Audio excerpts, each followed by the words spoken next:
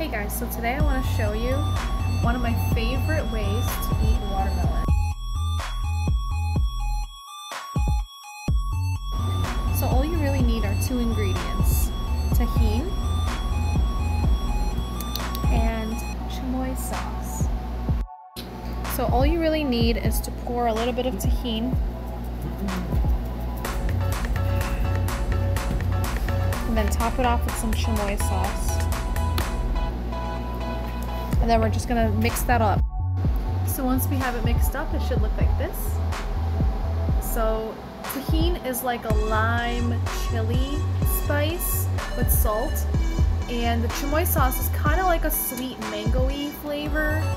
Um, and it just tastes so good all together.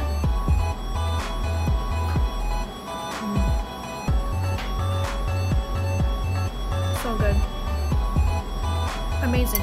Tangy, salty, sweet, and spicy. So good.